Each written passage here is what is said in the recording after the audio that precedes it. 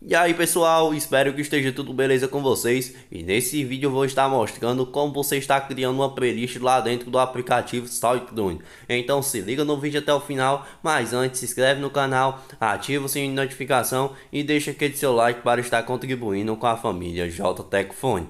Bom, vou estar vindo o aplicativo SoundCloud aqui no meu dispositivo, logo após isso vou vir até a opção de biblioteca e aqui dentro vou vir a algum e aqui dentro vai ter algumas funções, entre elas vai ter playlist. Aperto em cima dessa função, logo após isso venho até em criar playlist. E em seguida, coloco aqui o nome daquela minha playlist que eu quero estar criando. Vou colocar aqui canal do YouTube. Logo em seguida, aperto em salvar.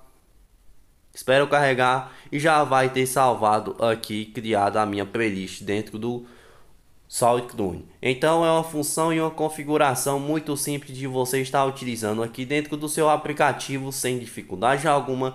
E não mais, eu espero ter ajudado e contribuído com mais esse vídeo aqui dentro do canal. E até a próxima família JTech Phone.